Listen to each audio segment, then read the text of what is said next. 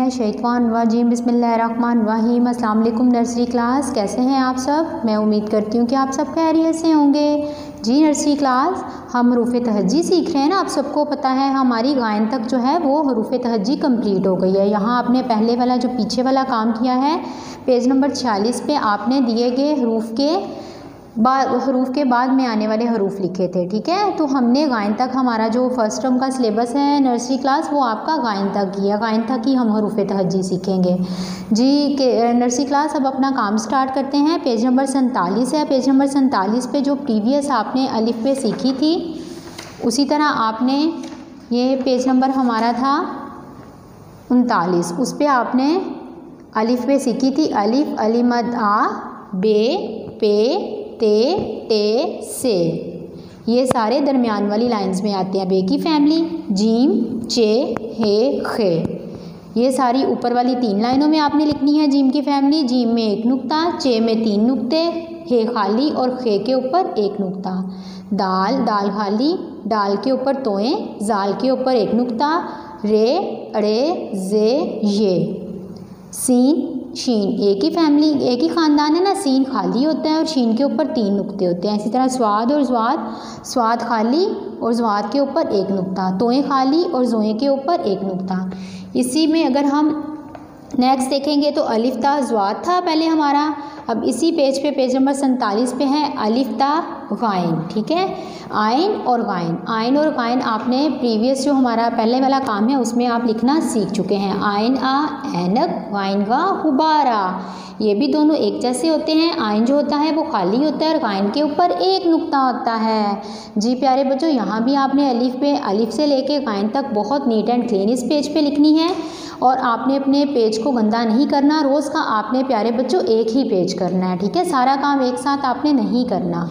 जी प्यारे बच्चों, अब आगे हैं रूफ़ तहजी की, ये देखें ब्लैंक्स है ना?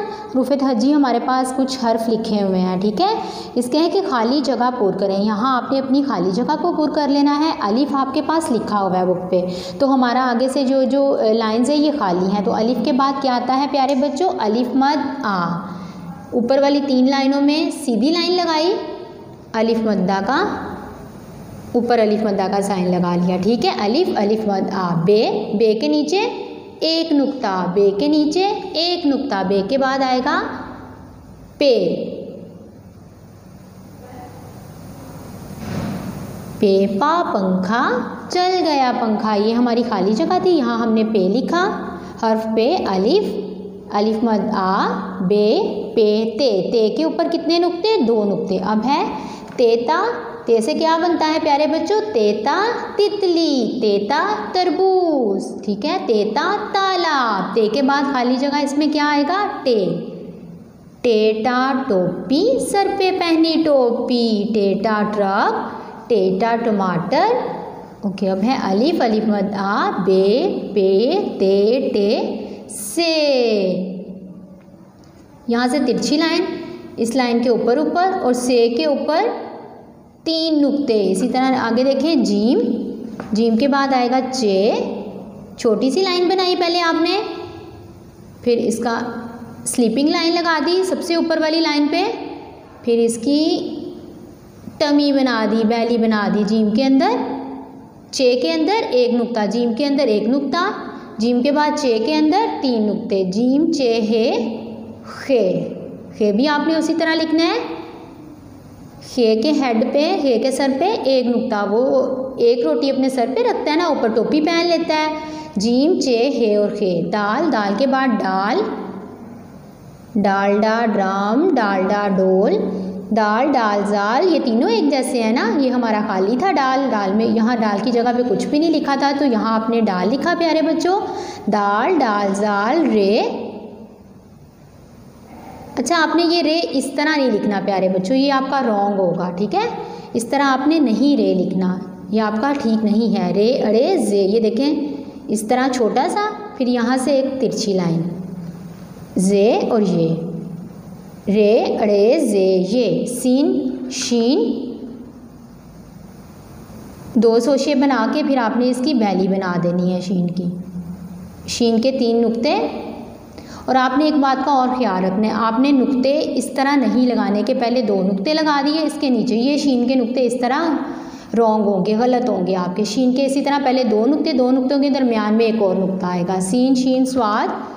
अब मेरे साथ प्यारे बच्चों, स्वाद लिखना आपने।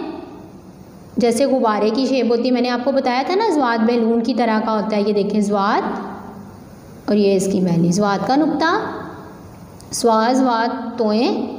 जोए भी इसी तरह ऊपर वाली तीन लाइनों में, यहाँ आपने पूरा इस लाइन के साथ टच नहीं करना, यहाँ से तिरछी लाइन, ये जोए तोएँ जोए आयन, और गायन भी ऊपर वाली तीन लाइनों में, आयन खाली होता है और गायन के ऊपर एक नुक्ता। ये देखिए, जैसे सी लिखते हैं सी बना के ये छोटा सी फिर ये सीधा सी ठीक है? बड़ा वाला, ये बड़ा सी और ये ये छोटा सी और ये बड़ा सी तो बन जाएगा गायन। ठीक है, इस तरह आपने अपने पेज पे 48 पेज पे, इसी तरह आपने खाली जगह को पूर किया। अब आगे देखिए पेज नंबर है उनचास। इस पे प्यारे बच्चों, आपने देखना है, हरूफ पर नकात लगाएँ, ठीक है? नकात क्या होता है? नुक्ते, जहाँ जहाँ नुक्ते नहीं लगे, जिस हर्फ पे नुक्ता आता है, उस पर आपने नुक्ते लगाने हैं, ठीक है? मेरे साथ देखें, अलिफ अलिफ मद आ, इस पर तो कोई नुक्ता नहीं आएगा, बे के नीचे एक नुक्ता। अब सबको पता है ना पे के नीचे तीन नुक्ते वेरी गुड ते के ऊपर दो नुक्ते, अब टे के ऊपर क्या आएगा? कौन मुझे बताएगा? सबको पता है टे के ऊपर बेबी तोए।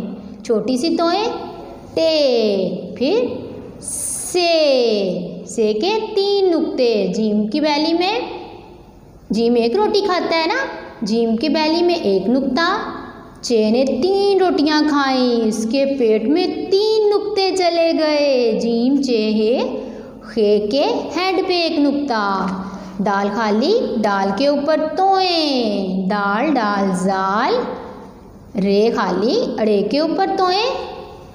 जे, और ये ये, या, याला, बारी, चलो, अंदर बारी बारी। सीन खाली, शीन के ऊपर तीन नुक्ते। स्वाद खाली स्वाद के ऊपर एक नुक्ता, तोए खाली, जोए के ऊपर एक नुक्ता। अब नीचे है खाली जगह पूर करें। जैसे प्यारे बच्चों, हमने पहले वाले काम में की थी ना, इसी तरह आपने ये भी खाली जगह को पूर कर लेना है। जीम चे हे, अड़े, जे, ये, ते ते से दाल डाल जाल, अलिफ अलिफ मद, आ, तोए, जोए आइन जी प्यारे बच्चों, इस तरह आपका सफ़ा नंबर उनचास भी कंप्लीट हो गया। अब प्यारे बच्चों, आपने रीडिंग करनी है। रीडिंग में हम पढ़े थे, पहले तीन हरफी अल्फाज आपने ऊपर पढ़े थे। आज जो हमारा नीचे वाला जो हाफ़ पेज रह गया था, वो है चार हरफी अल्फाज। ये अभी आपने तोड़ जोड़ तो सीखे नहीं, लेकिन ये पेज आपका सिलेबस में नहीं है, ठीक है? तो ये आपने लर्न नहीं करना, इसको, ये आपका सिलेबस में ये वाला पेज नहीं है। लेकिन फिर भी मैं आपको एक दफ़ा रीडिंग करके इसकी बता देती हूँ, क्योंकि पेज नंबर तेरह हाफ़ जो है, वो हमने पहले तीन हरफी अल्फाज पहले प्रीवियस लेक्चर में पढ़े हुए हैं, ठीक है? चेलिफ चा चेलिफ चा चाचा बेलिबा जीमलिफ जा बाजा जीमलिफ जा, तेलिफ ता जाता चेलिफ चा टेलिफ टा चाटा चेलिफ चा चे छोटी जी चाची बेलिबा जीम छोटी जी बाजी जीमलिफ जा ते छोटी ती जाती, चेवा छोटे छोटी टी चोटी लामलिफ ला ते छोटी ती लाती बेलिबा जीम बड़िए जे बाजे जीमलिफ जा ते बड़िए ते जाते हेलिफ हाँ जीम छोटी जी हाँ जी नेक्स्ट देखें प्यारे बच्चों, आपने अपनी रीडिंग करनी है सफ़ा नंबर चौदह पे, हे। हे हा, हलवा। कितना यमी होता है हलवा। आप सबको पसंद है ना? हे से देखिए अब और क्या क्या बनता है? हे की जो आवाज़ होती है, वो हा होती है। हे हा हजाम हे हा हुक्का, हे हा होस अब आखिरी जो हमारा हर्फ है, जिम की फैमिली का है, वो है प्यारे बच्चों, खे। खे खा खे के देखें हेड के ऊपर एक, सर के ऊपर एक नुकता है ना? खे खा खरगोश। मेरे साथ पढ़े सब बच्चे। खे खा खरगोश। खे खेमा खैमा खेखा खरबूजा खेखा खुबानी प्यारे बच्चों, आपने अपना काम बहुत ध्यान से करना है, अपना बहुत ज़्यादा ख्याल रखना है इन ताला नेक्स्ट लेक्चर में फिर मिलेंगे। अल्लाह हाफिज़।